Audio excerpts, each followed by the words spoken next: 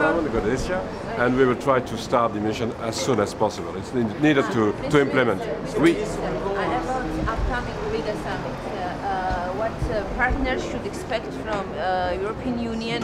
For example, Georgia, as we are from Georgia. but we need to express our commitment to make some progress with all the different partners in line with the reforms organized in the different country. We are for differentiation, and so we want to work on the own merits on the different country. And I'm sure that with Georgia it's possible to make some progresses, and we will try.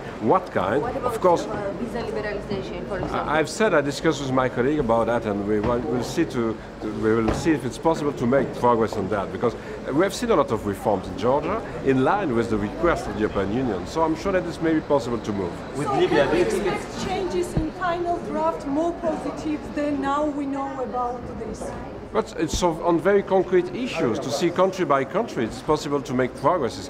To give an example about visas, there are different situations in different partners, and we will see if it's possible to make progress on some partners. Minister, do you think, Now- do you think with- without plan proposé par la Commission européenne, quelle est votre vision sur le, nous souhaitons surtout mettre en œuvre ce qui a été décidé maintenant il y a un mois. Je crois qu'on s'est réunis assez rapidement après les drames que l'on avait connus au mois d'avril et on doit vraiment avancer.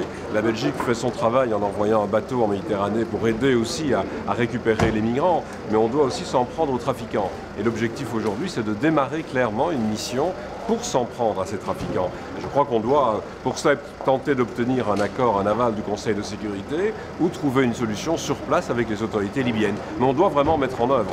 vous écartez pas une intervention militaire?